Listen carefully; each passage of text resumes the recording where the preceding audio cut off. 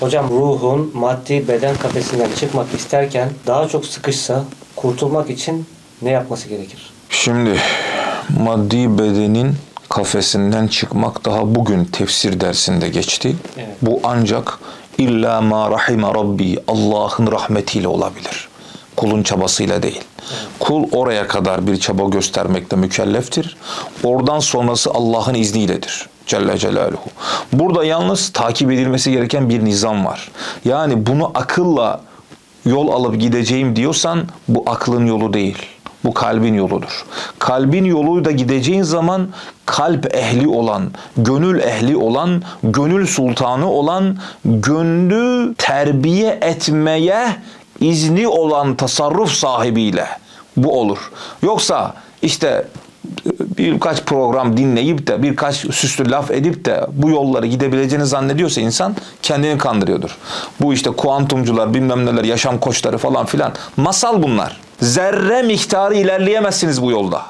Gönül ehline dönmezse gönül zerre miktarı ilerleyemez. Kendini kandırırsın başka bir şey değil.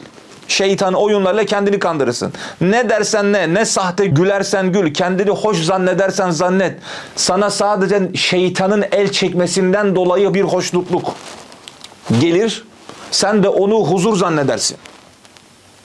Böylece kendini kandırır gidersin yani. Neticede gönül ehli olup gönülde tasarrufa izni olan Evliyaullah'la olabilecek bir yol.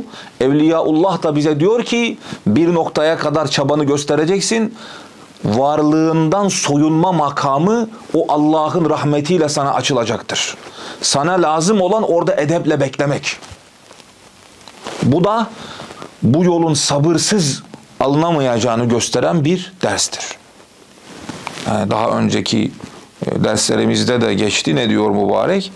Efendimiz sallallahu aleyhi ve sellem miraca peygamberliğinden 12 sene sonra çağrıldı. 12 sene sonra. O Allah'ın Habibi yani. Düşün. O haseble bir noktaya kadar gayreti bizden inşallah. Tevfik her zaman Allah'tan ama bir yer ki orası işte vücudundan sıyrılma yeri orası varlığından vücudundan dediğimiz varlığından o varlığından sıyrılmak demek işte bunları akılla anlamaya çalışırsa batar insan. Bu kalp yoludur. Kalp yoluna girenler idrak ederler bunu. O noktada rahmeti Rahman kavuşacak bize inşallah.